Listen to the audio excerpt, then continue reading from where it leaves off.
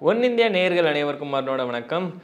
ரீசெண்டாக நடந்த இதுக்கு முன்னாடி பார்த்திங்கன்னா ஒரு பதினாலு சேட்டலைட் சேனல் அது போக வந்து இன்னும் ஒரு சில இன்ஃப்ராஸ்ட்ரக்சர் பில்டிங்ஸ் எல்லாமே ஹெஸ்புல்லா வந்து பார்த்திங்கன்னா இஸ்ரேலோட நாட்டில் ஒட்டுமொத்தமாக ராக்கெட் மற்றும் ட்ரோன்களை போட்டு அவங்க ஃபுல்லாக பிளாஸ்ட் பண்ணியிருந்தாங்க. இப்போ அதுக்கு வந்து இஸ்ரேல் ஒரு மிகப்பெரிய தாக்குதல் ஏற்படுத்தியிருக்கிறாங்க. முக்கியமாக இதில் ஒரு விஷயம் என்ன அப்படின்னு சொல்லிட்டு பார்த்தீங்கன்னா அவனுக்குள்ளே இருந்து ஒரு ஒரு- ஒரு ரிப்போர்ட் படி இஸ்ரேல் வந்து அடுத்து ஹெஸ்புல்லா மீது ஒரு மிகப்பெரிய ஒரு போர் தொடுக்கிறதுக்கான வாய்ப்பு அதிகமாக இருக்குது அப்படின்ற மாதிரி இது சொல்லிக்கிட்டு இருக்கிறாங்க இன்னொரு ஒரு விஷயம் முக்கியமாக இந்த போர் வந்து பார்த்தீங்கன்னா எங்கேருந்து ஆரம்பிக்க போகுது அப்படின்னா இஸ்ரேல் வந்து ஒரு வித்தியாசமான அணுகுமுறை வந்து பயன்படுத்த போகிறாங்க லெபனானில் என்ன பண்ணாங்களோ அதே வந்து கொஞ்சம் ஆப்போசிட்டாக பண்ண போகிறாங்கன்ற மாதிரி சொல்லிக்கிட்டு இருக்கிறாங்க இன்னொரு ஒரு முக்கியமான விஷயம் என்ன அப்படின்னு சொல்லிட்டு பார்த்தீங்கன்னா லெபனானில் வந்து பார்த்தீங்கன்னா கொஞ்சம் வித்தியாசமாக இருந்ததை விட இந்த சைடு வந்து ஒரு மலைப்பகுதியிலேருந்து அவங்க மேக்ஸிமம் ஒரு தாக்குதல் ஏற்படுத்தலாம் அப்படின்ற மாதிரியும் சொல்லியிருக்காங்க. இது மட்டும் இல்லாமல் ஃபயர் பவர் அப்படின்ற ஒரு விஷயமும் யூஸ் பண்ண போகிறதா சொல்லி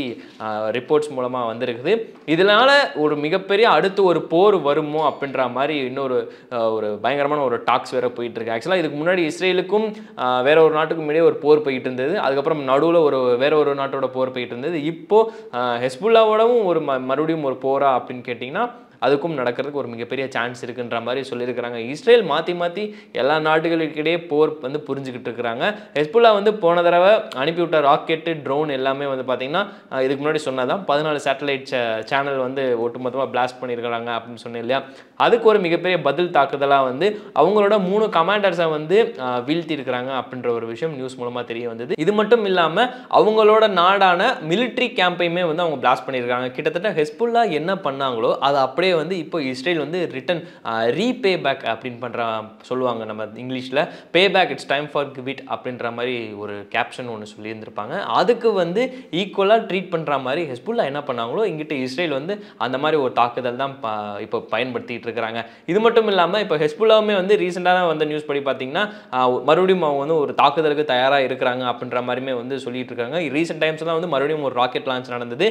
இப்போ இருபத்தி ரெண்டாம் தேதி ஜூலை வந்து பார்த்தீங்கன்னா நம்ம அந்த ஹெஸ்புல்லாவில் வந்து ஒரு மிகப்பெரிய ஒரு தாக்குதல் ஏற்படுத்தினாங்க அப்படின்ற மாதிரி வந்து சொல்லிட்டு இருந்தோம் அதுக்கப்புறம் வந்து இங்கிட்டு இப்போது இருபத்தி நாலாம் தேதி நேற்று தான் வந்து பார்த்தீங்கன்னா இஸ்ரேல் இந்த மாதிரி ஒரு விஷயத்த பண்ணியிருந்துருக்கிறாங்க அப்படின்றது வந்து நியூஸாக கன்வே ஆயிருக்குது. முக்கியமாக இஸ்ரேல் டிஃபென்ஸ் சிஸ்டம் அப்படின்ற ஒன்று இருக்குது இல்லாட்டி இஸ்ரேல் டிஃபென்ஸ் ஃபோர்ஸ் அப்படின்னு சொல்லுவாங்க. இந்த இஸ்ரேல் டிஃபென்ஸ் ஃபோர்ஸ் வந்து பார்த்தீங்கன்னா இப்போ லெபனானில் ஒரு மிகப்பெரிய ஒரு தாக்குதல் ஏற்படுத்த போகிறாங்க அப்படின்ற மாதிரியும் வந்து ஒரு நியூஸ் வந்திருக்குது. கிட்டத்தட்ட அடுத்தடுத்து நம்ம உலகத்தில் வந்து போர் அதிகமாக வந்துக்கிட்டு இருக்கிற இந்த நிலைமையில் அமைதிக்கான ஒரு வழி அப்படின்றத வந்து யாராலையும் கண்டுபிடிக்க முடியலன்னு சொல்லிட்டு இப்போ வரையும் நிறையா நாட்டு தலைவர்கள் வந்து அதை சொல்லிட்டு இருக்கிறாங்க. முக்கியமாக ஹெஸ்புல்லாவோட மிலிட்ரி டிஐஆர்ஏ அப்படின்ற ஒரு ஹர்ஃபாவில் வந்து ஒரு இடம் இருக்கும். அந்த அங்கே தான் அவங்க மிலிட்ரி கேம்ப் இருக்குது. அதில் வந்து ஒட்டுமொத்தமாக பவுண்ட்ஸ் பவுண்ட்ஸாக வந்து கிட்டத்தட்ட டசன் கணக்கில் அவங்க வந்து குண்டு போட்டு ஒட்டுமொத்தமாக பிளாஸ்ட் பண்ணியிருக்கிறாங்க. இது வந்து ரீசெண்டாக நடந்த ஒரு தாக்குதலுக்கு ஒரு மிகப்பெரிய பதில் சொல்கிற மாதிரி அப்படின்னு வந்து ஒரு எச்சரிக்கை வேறு விடுத்திருக்கிறாங்க. இப்போ இது ரிலேட்டடாக வந்து பார்த்தீங்கன்னா ஹெஸ்புல்லா மறுபடியும் தாக்குதல் புரிஞ்சாங்க அப்படின்னா இங்கிட்டு வந்து இஸ்ரேல் மறுபடியும் ஒரு மிகப்பெரிய ஒரு போர் ஹெஸ்புல்லா மேலே புரியறதுக்கு தயாராக இருக்கிறாங்க அப்படின்ற மாதிரி தான் நியூஸ் வந்திருக்குது.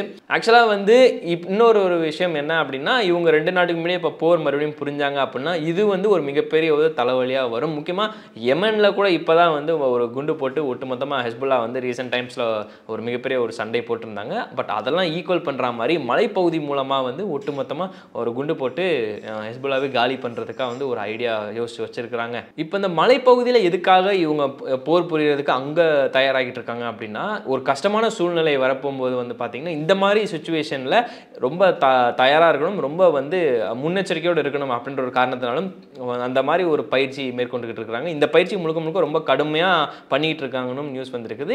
இன்னொரு ஒரு விஷயம் வந்து பார்த்தீங்கன்னா கல்லாட் கெபா அண்ட் கஃபார் கிலா இந்த ரெண்டு இடத்துலையுமே வந்து வழக்கம் போல தான் ஒரு டசன் கணக்கில் வந்து ராக்கெட்ஸ் மற்றும் ட்ரோன்ஸை வந்து அனுப்பி ஒட்டுமொத்தமாக அந்த இடத்தையும் பிளாஸ்ட் பண்ணியிருக்காங்க அவங்க மிலிட்ரி கேம்பையுமே விட்டு வைக்கல. இது இப்படியே கண்டினியூ ஆகிட்டு இருந்தே தான் கிட்டத்தட்ட வந்து இரு நாடுகளுக்கிடையே வந்து மறுபடியும் ஒரு மிகப்பெரிய ஒரு போர் உண்டாகும். இதுக்கு முன்னாடி வந்து ரஷ்யா அந்த மாதிரி ஒரு நாடு வந்து இங்கிட்டு வேற ஒரு நாடு மீது வந்து பார்த்திங்கன்னா பயங்கரமான ஒரு போர் புரிஞ்சுக்கிட்டு இருந்தாங்க. இப்போ அடுத்து தொடர்ந்து இஸ்ரேல் இஸ்ரேல் வந்து வேற ஒரு நாடு நாடோட போர் தொடுத்தாங்க அப்படின்னா இஸ்ரேலுக்கு வந்து ஒரு மிகப்பெரிய தலைவலியாக வரும் அப்படின்னு தான் வந்து முழுக்க முழுக்க எல்லாருமே சொல்லிட்டு இருக்காங்க.